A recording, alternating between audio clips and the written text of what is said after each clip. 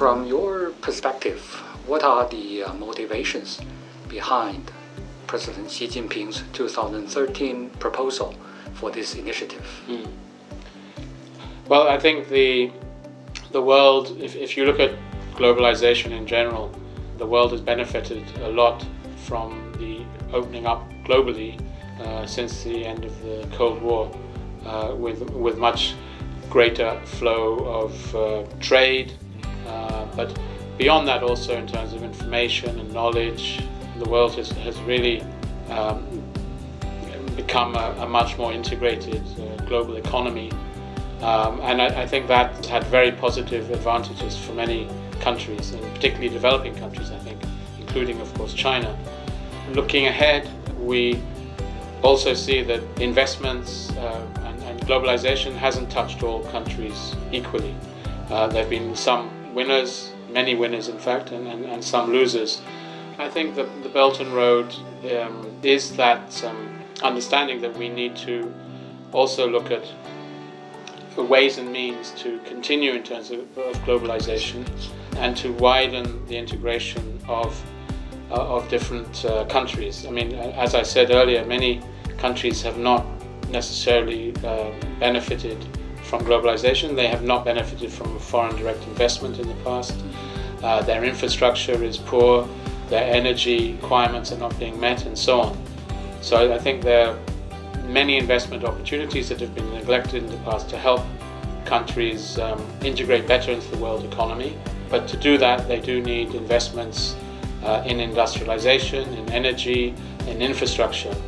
And uh, I think this will be a boost uh, for the world's economy and a boost for China, which is the largest trading economy in the world. So I, I think this is a, potentially very positive. As I said, I mean, one also has to make sure that risks are taken care of, that the investments are done in a sustainable way, uh, and that the countries receiving the investments have the absorptive capacity to make to optimize their use. Uh, in your opinion, what are the uh, sustainability problems hmm. faced hmm. by the countries in the construction of uh, the Belt and Road Initiative, and hmm. uh, how can such problems be tackled? As I was saying in, in the opening, the uh, Belt and Road Initiative does provide a, a, number of important opportunities for enhanced global development, uh, but at the same time, there are a number of risks that need to be acknowledged and, and to be mitigated. Um, when one looks at the opportunity side, of course, this is an important platform for globalization. It's bringing many countries into the global trading system potentially, um, which have not been recipients of, of, of, much investment in the past. Uh, so it's actually providing capital to countries that have been neglected in the past. So I think this gives a very good opportunity in terms of investment. But at the same time, in the United Nations, of course, we're looking at more than just economic development. We're, we're looking at uh, social and human development. And for that, we have the 2030 Agenda on Sustainable Development. And I think also the Belt and Road provides opportunities in that area as well. Um, the Sustainable Development Goals are about the quality of development, but they're also needing increased resourcing for development. Uh, the financial side of development is also very important, and we're looking for literally trillions of dollars of extra investment over the years up to 2030.